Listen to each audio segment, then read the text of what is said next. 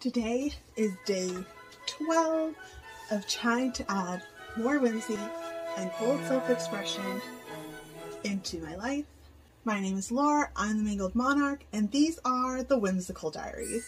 So Valentine's Day has passed, but celebrating love is an everyday occasion, and today I wanted to do something special and celebrate my fur baby.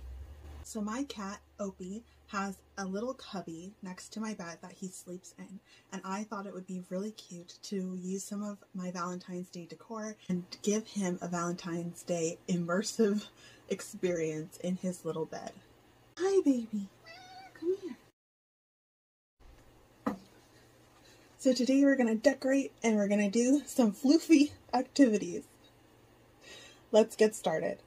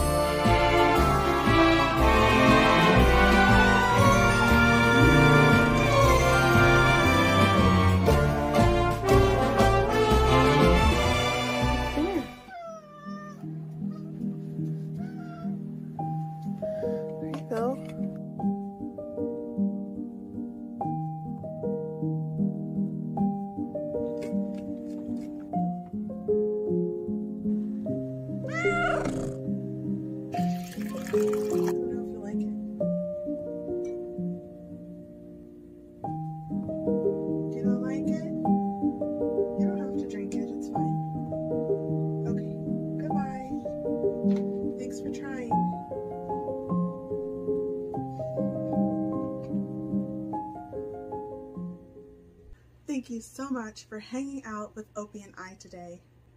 Give your fur babies a good pet for me, and I will see you on the next one.